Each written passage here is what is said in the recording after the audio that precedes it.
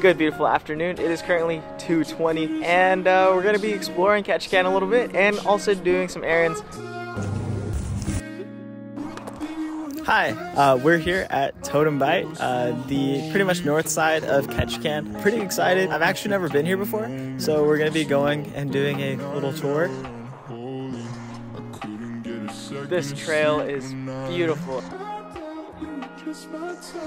I was dead wrong, but it felt so right When you count my days, what was dark green eyes And I'm never gonna change, thinking about that twice And so, chord changes, vocalize, Well, uh, that pretty much wraps up my entire day. Hope you guys enjoyed day 10? Double digits? I think we just did double digits. And I'll catch you on the next one.